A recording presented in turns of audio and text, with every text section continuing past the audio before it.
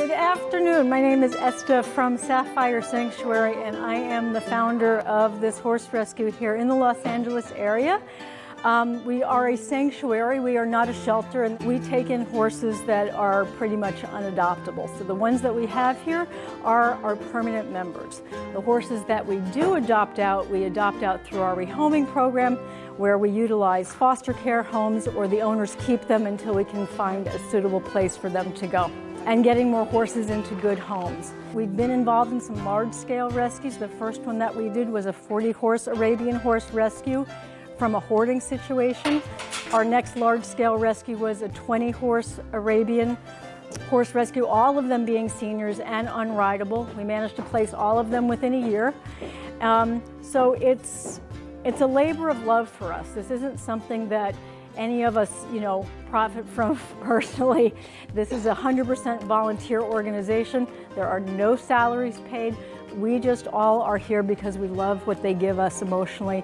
But our theory here is that we don't look at horses as a commodity.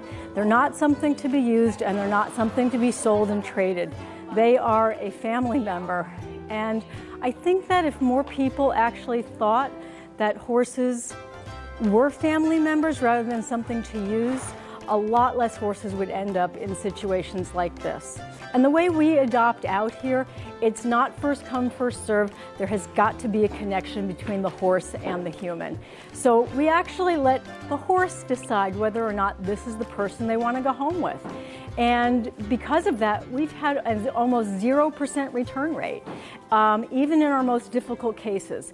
We've only placed 80 horses over the last 10 years, but every single one of them has been either lame, unrideable, senior. These have all been like sanctuary horses.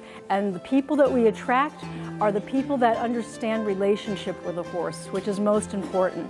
As they become healthy and they're able to do more things, they sometimes then are able to ride them and that horse is willing to give them whatever it is that they want because the relationship has already been formed.